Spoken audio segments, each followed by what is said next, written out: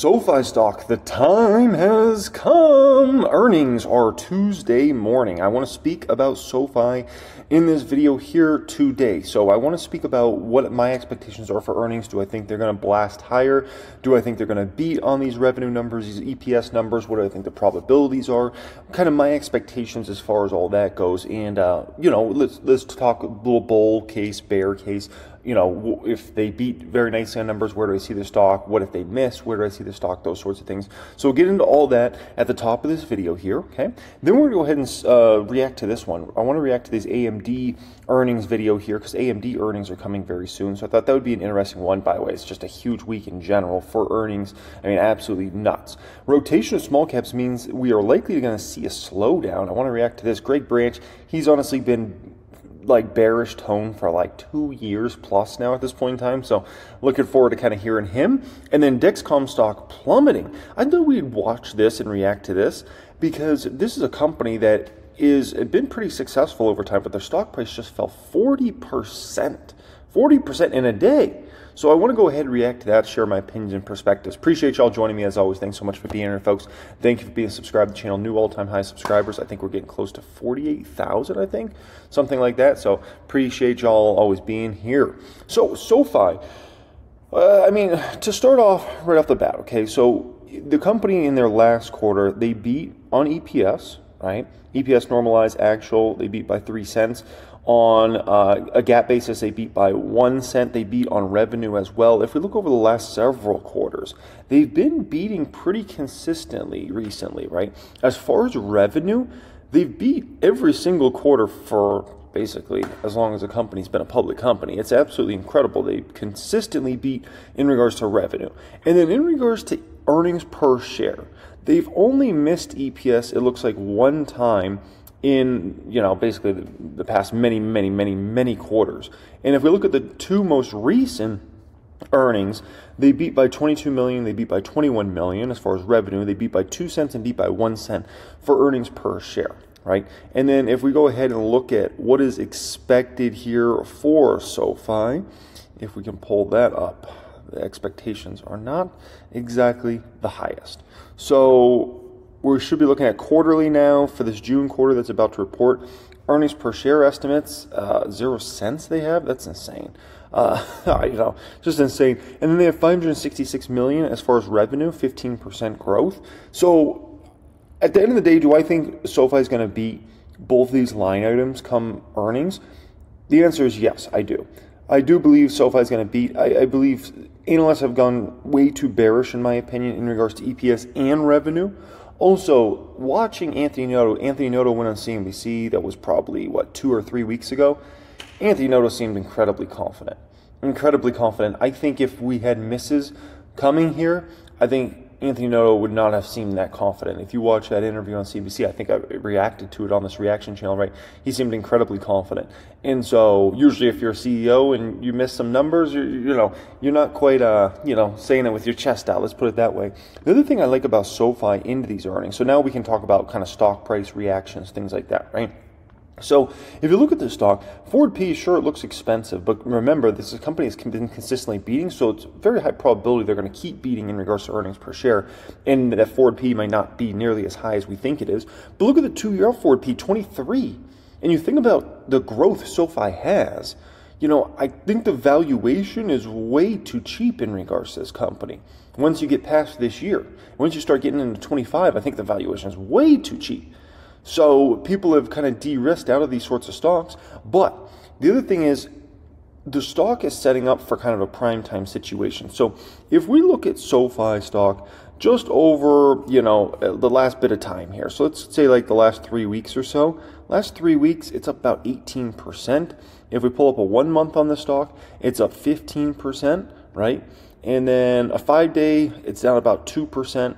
And then obviously it went up about 2% uh, on, Friday trading. But the overall trend is certainly higher recently in regards to SoFi. And a lot of people want to play these sorts of stocks. Look at also the Russell. If we were to pull up the Russell right next to um, right next to SoFi here, look at these babies right next to each other. It kind of goes to show you people are looking to position into some of these, right? Goes into the rotation that's going on in the market. You look at IWM up 12% in the past month. SoFi is up about 15.5% in the past month, right? So this is these are the sorts of stocks people are looking to get into now at this point in the market.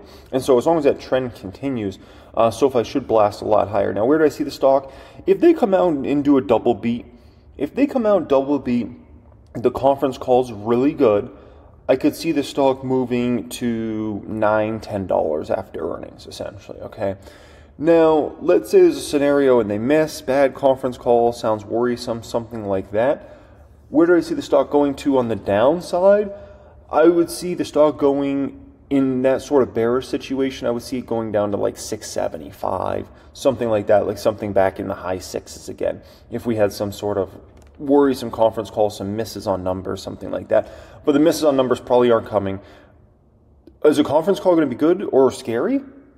Anthony Noto just won on CNBC like two weeks ago. Or like it's going to be good.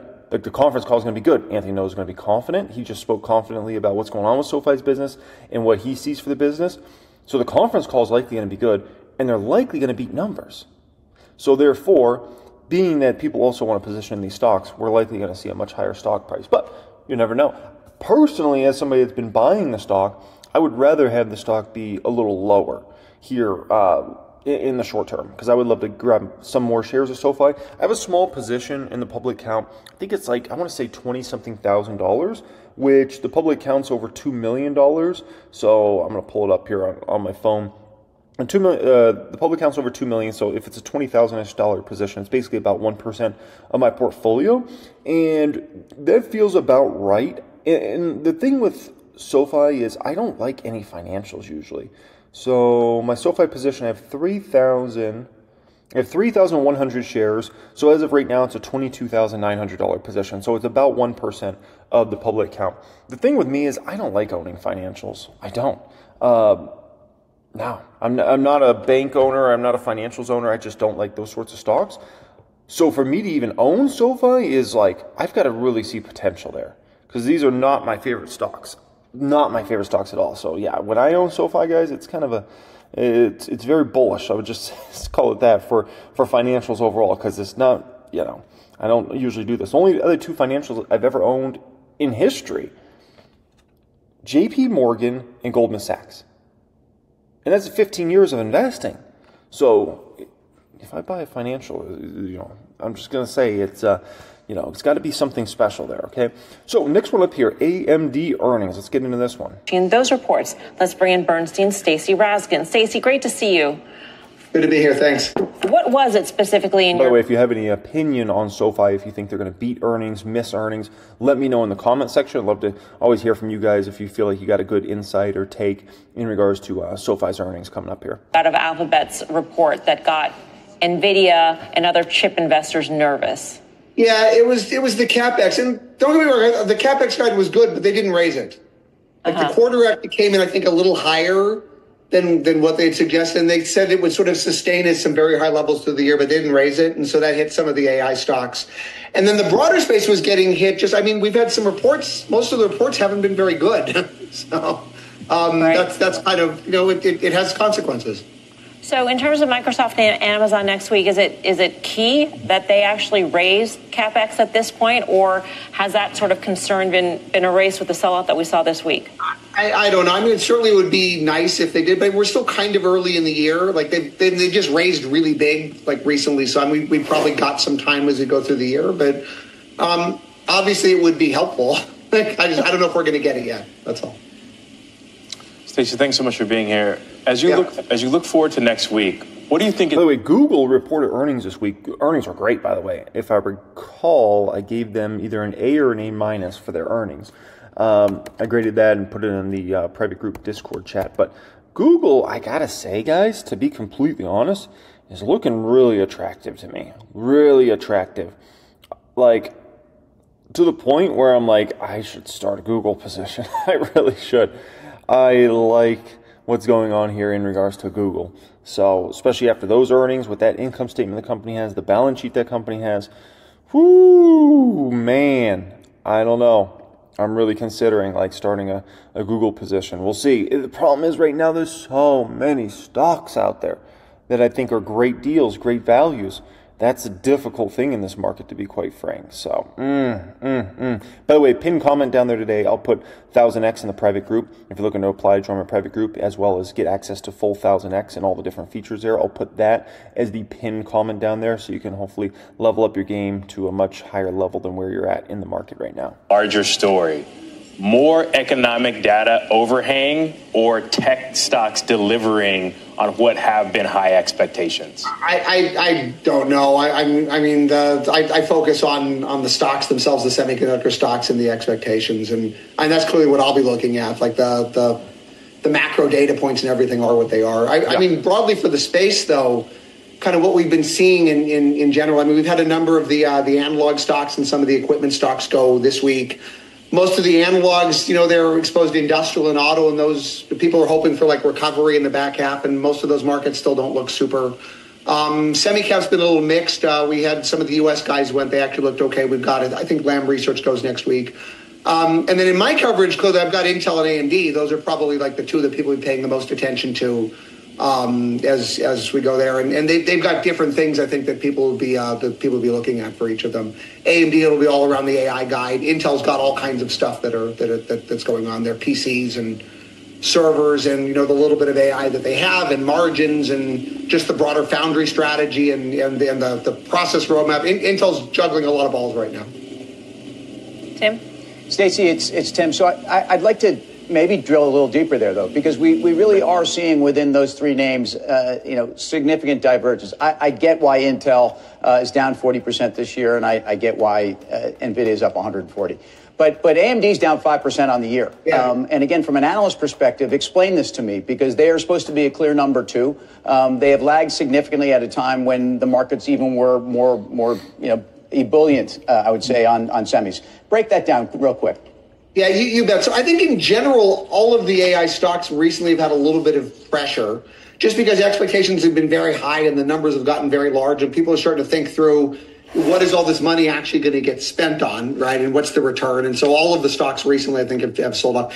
AMD has been a little bit interesting, though. You know, they, they have, you know, they are the number two, you know, to some of the, to, to NVIDIA and some of the other players in the space in data center GPUs. Um, expectations have gone up a lot. You know, the, the company's been sort of raising their AI guidance through the year, but I mean, consensus expectations are already quite a bit above that. And so I think there's a concern that while we probably will get a raise to that outlook, it, it likely will not be enough like to be high to, to cause expectations to go up. Also in the near term with AMD, there's been some worries about potential issues with their products. There's been concerns around uh, their high bandwidth memory that they use with they, they buy from Samsung mostly concerns about like is that having issue and is it causing order pushouts or cancellations and so we'll find out i guess you know better next week when they report but those have been some concerns in recent weeks that have been weighing on the stock and and taking it down probably a little worse than maybe even some of the other AI stocks uh, that are that are there. Wow. Karen, let's check AMD's valuation here. Let's see AMD. So AMD we're looking at about a 39 forward P, two year out forward P23. Obviously, the company should have extraordinary earnings per share growth and uh, very strong revenue growth starting next year. So, you know, I got to say, if we go back three, four months ago, five months ago, I felt like AMD was very overvalued. Now I like AMD. Under 140, I definitely like AMD. Let's compare AMD kind of versus um, Let's compare them versus NVIDIA here. So we got a trailing 12 month PE. Obviously, you know, NVIDIA's business model has been way better than AMD recently, right? But it doesn't mean it's going to stay that way. But this is where things get interesting because you look at AMD, it looks like a ripoff on a trailing 12 month PE basis versus NVIDIA, right? But then you look at the forward P and you're like, oh, okay, forward P is under NVIDIA. And then you look at the two year out forward P significantly under, right? But AMD's got a lot more to prove. NVIDIA's already proven they're, they've won and they're winning, right? So AMD has it. AMD has to prove that. That's what AMD's really going to prove or have to prove over this next two or three quarters, specifically the next two or three quarters. It starts with this quarter they're about to report this week, right? And then going on uh, from there. So, but I gotta say, I actually like AMD. Mm-hmm the net margin's about to come up massively. So don't think they're going to be stuck at a 2% net margin. That net margin is probably going to fly to 20 to 30% range over the next year or so. So that net margin is about to blast higher. Gross margins likely going to pull up as well. So that's the nice thing with AMD. You're about to get a major profitability story, major revenue story, but you're also simultaneously about to get a big margin story here. Hmm. Fuck. It's a buy. It's, it's a buy. It's a buy. Ah.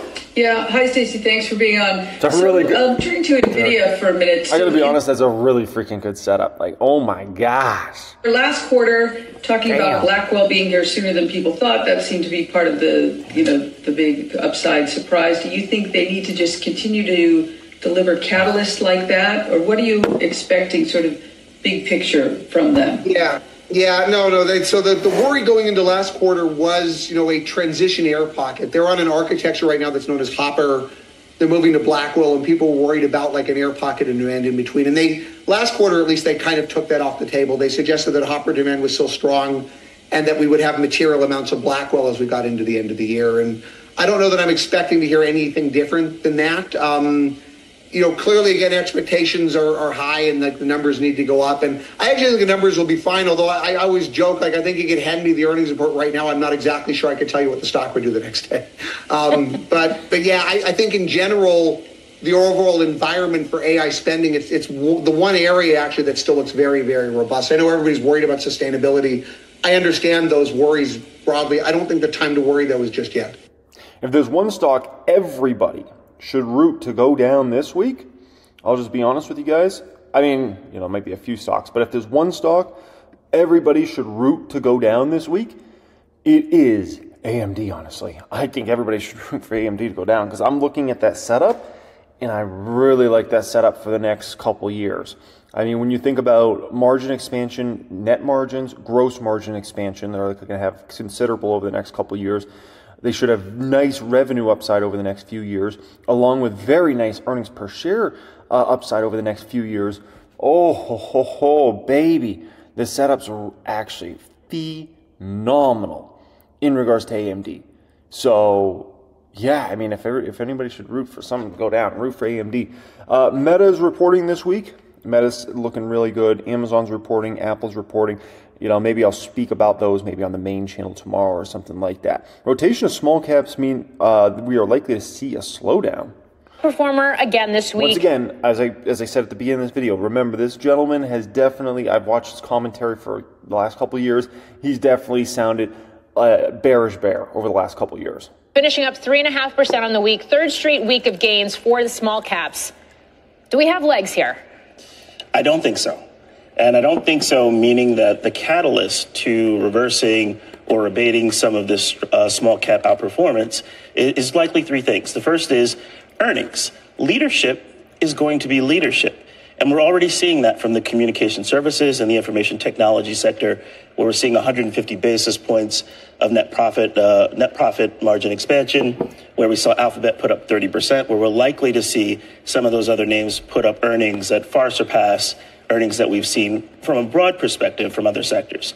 And that is the expectation. We came into this quarter with communication services looking to put up 20%, with information technology looking to put up around 17%, the top two expected numbers in terms of consensus. The second thing that I think will come into play in terms of this uh, rotation of small caps abating is that we're likely to see a, a slowdown.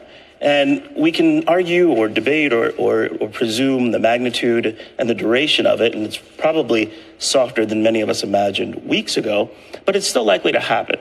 And so the Fed's announcements thus far abate some of the balance sheet risk to smaller names, but it doesn't remove any of the hazard in terms of top line growth or bottom line growth. Mm-hmm. That's likely to be consumption driven.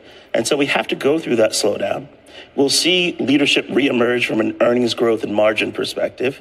And then when they do start to cut rates, it will be much, much slower than the pace at which they raise rates. Okay. So it will take time for some of those hazards to pass us by. Okay, so you're not. Whoa, whoa, whoa, whoa, whoa, whoa, whoa. Hold your horses for just one flip and flapjacking moment, okay?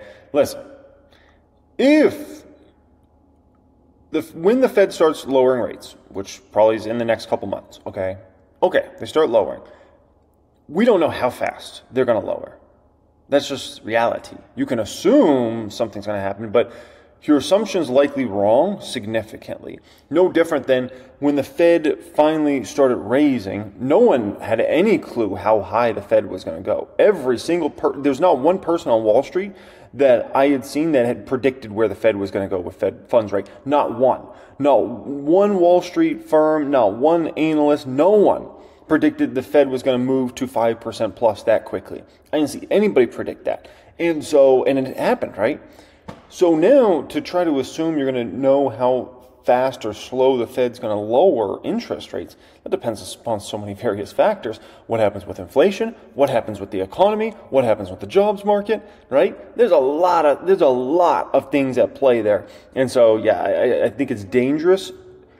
I, I mean, when I look out there, yeah, I do think the Fed's going to start lowering very soon, but I'm not going to bank anything on how fast or slow I think the Fed's going to lower rates. Because I'm just telling you, you're, you're not going to be accurate whatsoever. The Fed doesn't even know. The Fed doesn't even have the first clue about where Fed funds rate is going to be a year from now. The Fed, Jerome Powell himself, has no conception of where the Fed funds rate will be one year from now, especially two years from now. Two months from now? Sure. A little bit of pun intended.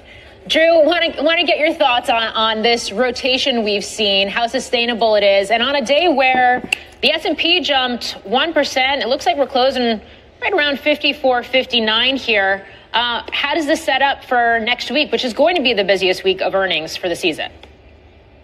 Uh, look, I think the setup for growth is going to be a lot more difficult heading into next week. So, me- mega cap growth uh, specifically here. So, look, it, we can't deny the the price action there has been really aggressive. Yes, the fundamental momentum's been very good, but at some point you just have to have a little bit of caution when prices move that far ahead of fundamentals. You know, to us, we think growth takes a bit of a pause here. This rotation could have some legs for now, but a lot of these structural winners likely kick in. But look, just to make it real simple, they have to beat and raise. You can't just have one or the other this quarter, especially for the Mag 7 names that haven't reported yet. Mm, okay. So, Greg, you're basically saying, and you write this. I mean, to be fair, that's what these companies are always basically have to do. They almost always have to beat and raise, just to be honest. This isn't the great rotation. It's an overstretched rate cut rally. What, what would expect. you be buying then, if not small caps? So, so I, I think I agree with Drew here. The key, the, the, the secret sauce is what's going to deliver on 20% plus earnings growth. And when you want to, when you, when you're banking on 20% plus earnings growth, what you want to see is something tethered to secular tailwinds, generational secular, secular tailwinds in the case of, of AI and cloud, et cetera. Or you want to see some structural supply demand imbalance. And so I'm not saying that we haven't picked at the small cap ocean or basket. Uh, what I'm saying is that we're doing it selectively, and we're looking for the for that uh, sub- structural supply demand imbalance. Or we're looking for a generational secular tailwind. So when you look at shipping, for example, we've talked about how the uh, shipping rates for a 40 foot container from Asia to Europe is five times what it was a year ago. Mm. Well, there's small cap ways to play that, and Zim and Matson, and yes, they're up a bit this year, but the earnings growth in that sector should be fairly powerful and aggressive throughout this year in 2025 because it takes some time to bring on the capacity. We can talk about for longer term trades the rotation into green energy, electric vehicles, and while copper's gotten most of the attention in those areas, there's lithium, there's uranium, and so names like Arcadium and NexGen, both under 5 billion. Obviously, the decreased risk of financial duress, particularly given what they have to invest to acquire and develop their properties. Oh, oh, oh, O'Reilly Auto Parts. Better access to capital, more widespread access to capital, and at better terms, obviously, uh, advantages those companies. And at the same time, we have access to that supply demand imbalance mm-hmm. because, as we all know, that the surge in demand for those precious metals far outstripped the. Wow, super micro super micro down big. You know, the super micro stock's interesting because recently I was I was under the assumption that the super micro company um, was a company in which the, the valuation was completely out of control. But you look, and it's like, no, it's not actually. Trailing 12 month P 39, forward P 23, two year old forward P 16, based upon kind of what analysts are expecting here. So the super micro is actually really interesting. Very interesting. It, it's not like a crazy overvalued company like you might assume because the stock went up so much, right? Uh, for projected supply over the next 10 years. All right, let's get into this Dexcom situation because this stock's wild. 40% down in a day. On record, this comes after the diabetes management company reported disappointing revenue for the second quarter and offered weak guidance. Joining us now is Wolfe Research analyst Mike Polark. He has an outperform rating on the stock. Uh, Mike, I'm just going to go right into it here because it came up on the call and it's raised some questions. And that is when you have a company saying that they are short a large number of new new patients that they anticipated here for their glucose monitoring for their those products around diabetes. Is this the impact of GLP-1s or is it something else? Um, thanks for having me. In um, bridging their guidance reduction, missing on users was a piece of it. I figure it's about 30% of the overall revenue guidance reduction. Um, mix, uh, revenue per, let's call it pricing, um, was likely the remainder. Um, I don't think it's GLP-1s, and I understand the question. Here's why. We are seeing evidence that uh, patients with type 2 diabetes that do not yet use insulin therapy, so these are folks that could be using GLP-1s, um, CGM product starts for that patient category accelerated quarter over quarter. Um, so that would be a suggestion that GLP-1s are not disrupting the category. The other bit of evidence we have here um, Dexcom and their competitor Abbott have, over the last um, couple quarters, presented data around patients on GLP-1s and their use rates of CGMs. And what we find in, in type 2 thus far, patients with type 2 diabetes, the folks that are using GLP-1s are actually using CGM more often, more frequently, more consistently than patients with type 2 that are using oral mm-hmm. medications but not yet GLP-1. So I don't think it's GLP-1s. I do think it's um, more so channel uh, mix and pricing, and, and, and that to me is the greater frustration today. Okay. So you have a buy rating on the stock. Do you buy given the drastic pullback we saw here today? And perhaps just as importantly, how much is this a harbinger for more results we get from medical device makers and healthcare companies that are yet to come? So I will say there was some comforting news um, from another diabetes technology company this morning, Insulet ticker Pod. They pre-announced positive results. Um, so that made me personally feel better that um, we're not going to have some contagion uh, through to the rest of the group, um, the rest of reporting season. Um, as it relates to Dexcom, the stock today, a lot of damage has been done. So, you know, my estimates, my peers' estimates have been reset dramatically. Um, so the expectation, the bar is now quite a bit lower. And on that lower bar at 60 or so dollars per share, I'm seeing a multiple um, 30 times earnings, uh, low 20s times EBITDA. Um, you know, these are multiples that align with a, a, company we really like, a stock we really like, Boston Scientific. So we are fans of Boston Scientific. Um, I see Dexcom here trading at Boston Scientific's multiple on newly lowered numbers. And so so I think that peer comparison helps provide a floor here for the multiple. So I don't cover these stocks, obviously. It's not my uh, sort of industry. But with that being said, I would be suspicious. This is such a violent move down that I feel like some folks know some stuff. Um, you know, seeing a 40% down move in a day, I feel like there's an existential problem at the company. You know, if you see a stock fall 5, 10, 15%, eh, okay, whatever.